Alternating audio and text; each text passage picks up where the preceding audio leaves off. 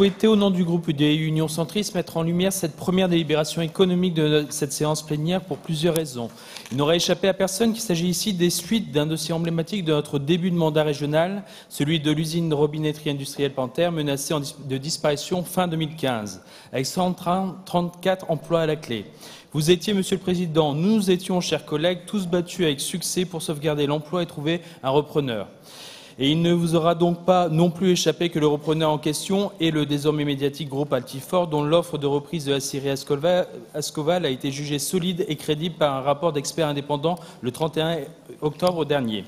Toute proportion gardée, ce dossier PVI Altifort est hautement symbolique pour plusieurs raisons. Il est encourageant pour le dossier Ascoval puisque Altivor et la région ont fait leurs preuves sur le dossier PVI Altifort. Chaque, partenaire tient ses engagements. La région avait accordé un prêt d'un million d'euros fractionné en trois fois en fonction des réalisations d'investissement. Depuis la reprise de l'usine Panthère par Altifort, 4 millions d'euros ont été investis, dont 305 000 euros d'aide régionale pour le renouvellement des machines, la formation et la rénovation du pôle commercial. Les effectifs de la formation les effectifs de l'entreprise ont, évolué positivement avec l'embauche de plusieurs salariés portant leur nombre à 115 contre 98 au lendemain, de la reprise.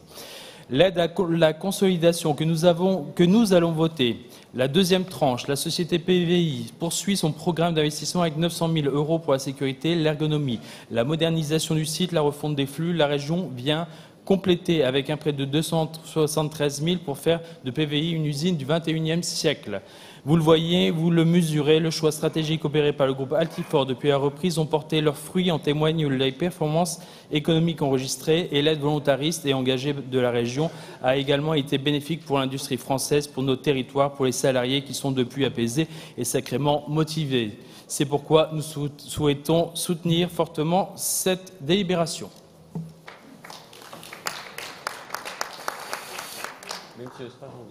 D'autres interventions?